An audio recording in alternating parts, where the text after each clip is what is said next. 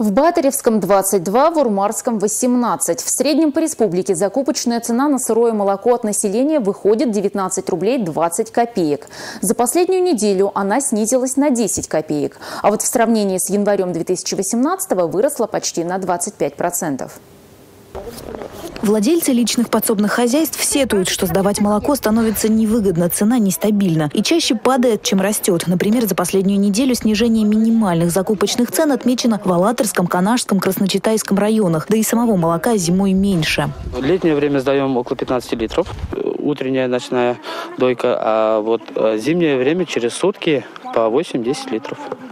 На цены сильно влияет качество молока, и сборщики часто упрекают сдатчиков в нарушении стандартов. И чтобы этого избежать, хозяева сами относят пробы на анализы в госветслужбу, а это еще минус 100 рублей. Наши ветеринарные специалисты ежемесячно проводят э, проверку качества молока, сдаваемого как э, у населения.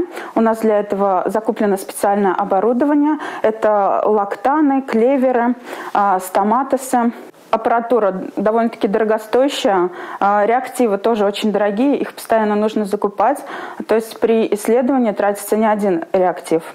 От района к району цифры разные. Например, в Батревском и Комсомольском литр молока от населения принимают за 22 рубля, а в Красночитайском и Канашском только за 18. На это влияют объемы. Где молока больше, туда просто выгоднее ездить сборщиком. Делают погоду не только качество, но и конкуренция. В некоторых поселениях люди между собой договариваются.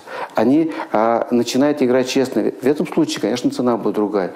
Но самый главный фактор здесь то, что вот товарные личные подворья, они должны ментально сознательно прийти к тому, чтобы объединиться в то, чтобы создавать совместные кооперативы. В этом случае они могут сами контролировать, сами определять, и у, нас будет, у них будет другое качество, другие объемы и другая цена.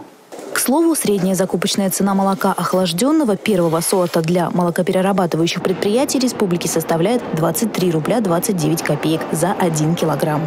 Ирина Волкова, Алина Сусметова, Валерий Резюков. Республика.